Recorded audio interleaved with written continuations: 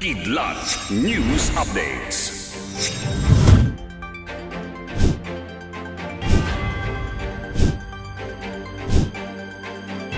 Ako si Cesar Soriano kasama ang buong pwersa ng Kidlat News Channel para ihatid ang nangungunang mga balita sa buong kapuluan.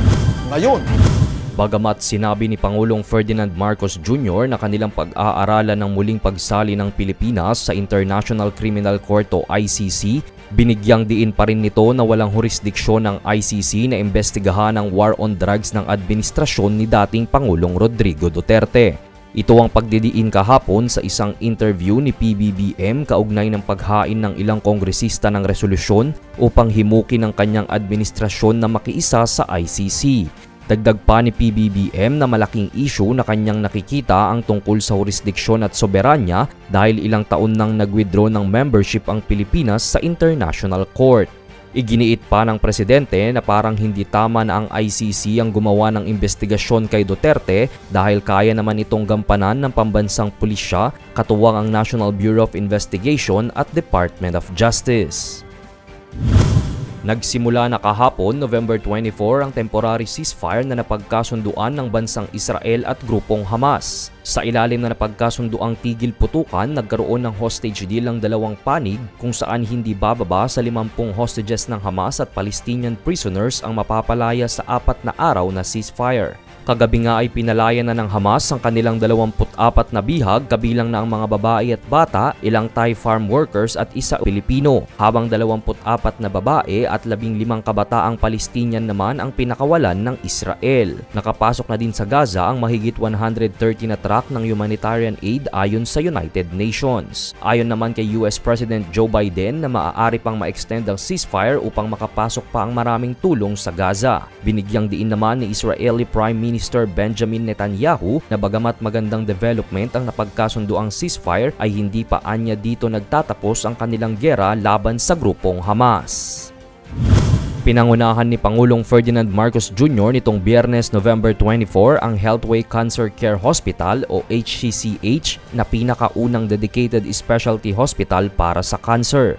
Saad ng Pangulo, mahalaga ang papel ng bagong pasilidad sa Tagig para mabigyan ng akses ang mas maraming Pilipino sa mga dekalidad na cancer care.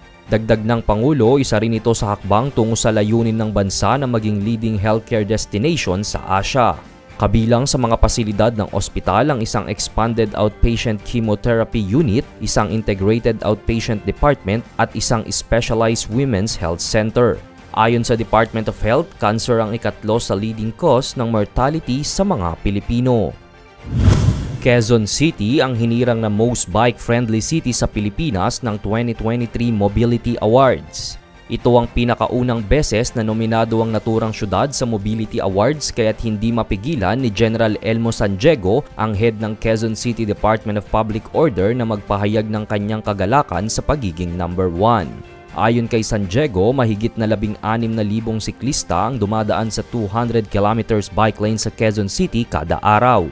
Dagdag ng opisyal, layunin ng Quezon City LGU na maging more exclusive ang bike lane sa mga siklista sa pamamagitan ng kanilang balak na mag-install ng mga permanent concrete dividers sa mga bike lanes para maiwasan ng mga aksidente. Nasungkit naman ng Iloilo City ang second place na may gold rating. Samantala, kinilala naman ang Baguio City bilang third best city for bicycling na may silver rating. Ginanap ang ikatlong edisyon ng Mobility Award sa Novotel sa Cubao noong November 24.